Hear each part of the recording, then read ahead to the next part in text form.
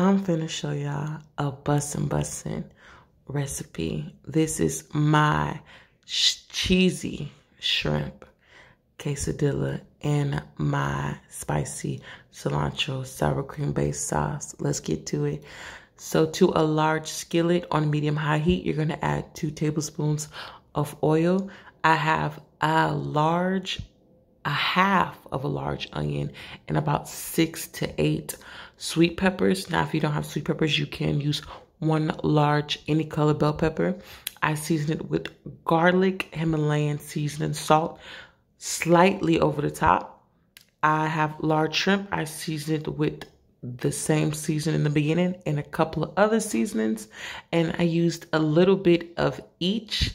Please do not hesitate to mix. You need to mix.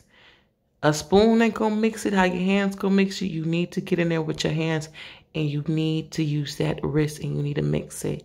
Don't forget about your vegetables. Make sure they get brown and real loose, real, real sauteed and good. And you're gonna make some room in your skillet.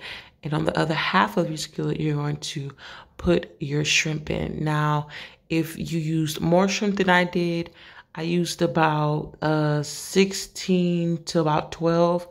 If you use more than me or you have a smaller skillet, just take your vegetables out and cook your shrimp till they're almost done and then add your vegetables back in and mix them together. But if you do have room, just lay your shrimp out flat on the other half of the skillet and let them cook for about two minutes.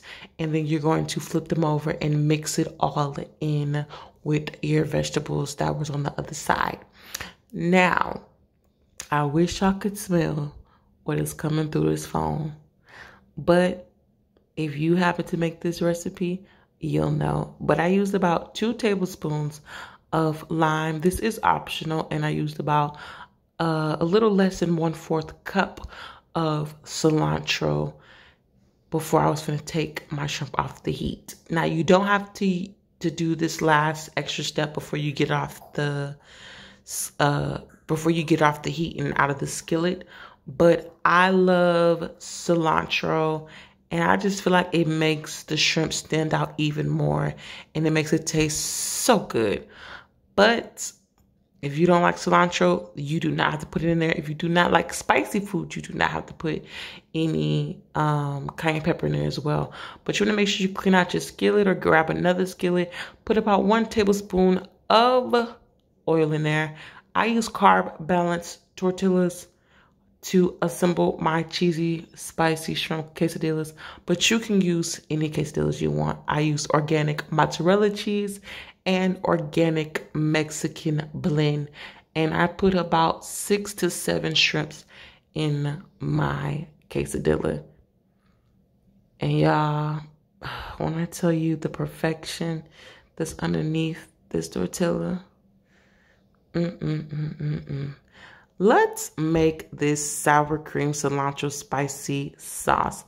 Cayenne pepper, onion powder, cilantro, of course, garlic Himalayan seasoning salt, and a little bit of Worcestershire. So yes, I did use about one cup of sour cream. This is a sour cream based sauce, and I used a little bit of every seasoning. Season it to taste and you will get this perfection. I did use about two tablespoons of sriracha, but that is optional. And of course, I had to make me an extra one. But yes, y'all, there you have it. My spicy shrimp quesadilla with my spicy cilantro sauce. Enjoy.